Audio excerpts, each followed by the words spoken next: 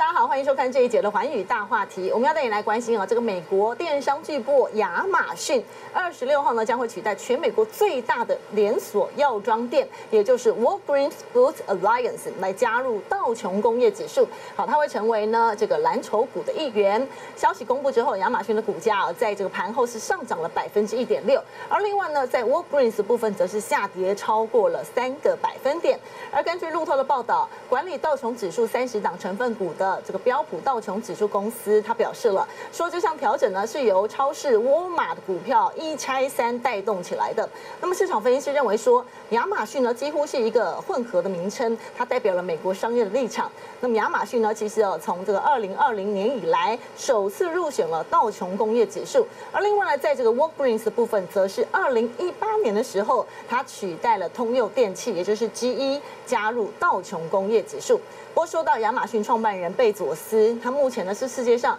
第三大富豪哦，他的净资产呢有一千九百一十四亿美元，相当于是。六兆新台币耶！那么根据申报的文件上显示，贝佐斯呢，继上个礼拜哦，他先抛售了一千两百万股亚马逊股票之后，礼拜二跟礼拜三呢，又以一百六十九点五美元这个均价呢，卖出大约一千两百万股的股票，好，把二十点三亿美元收到囊中了。这也使得呢，他本月哦，总共这个售股的总额已经是超过六十亿美元了，大约是一千八百八十四亿新台币。也因为呢，他最近啊在打造一个四百一十七尺长的豪华巨型游艇，好，这个游艇要价就要五亿美元呢。而且他跟这个未婚妻桑切斯呢，接下来也是哦持续在买豪宅，而且买好几库哦，那么需要数亿美元的资金，所以他才开始恢复售股的。而他的卖股行动呢，是依据去年十一月生效的交易计划来进行。这个文件显示，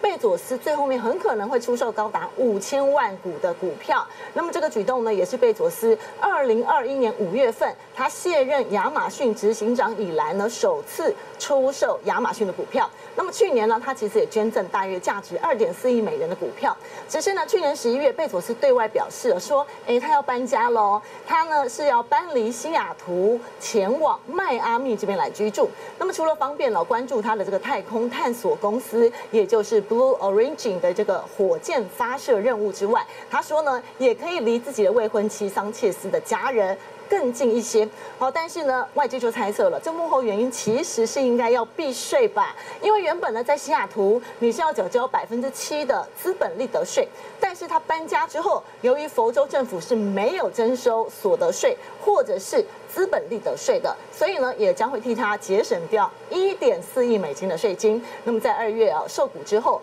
贝佐斯对于亚马逊的持股也从原本的九点七六二亿股哦，来到了九点五二二六亿股了。好，以上就是这一节的环宇大话题，请订阅、按赞、分享环宇新闻 YouTube 频道，并且开启小铃铛，及时掌握全球时事与最新趋势。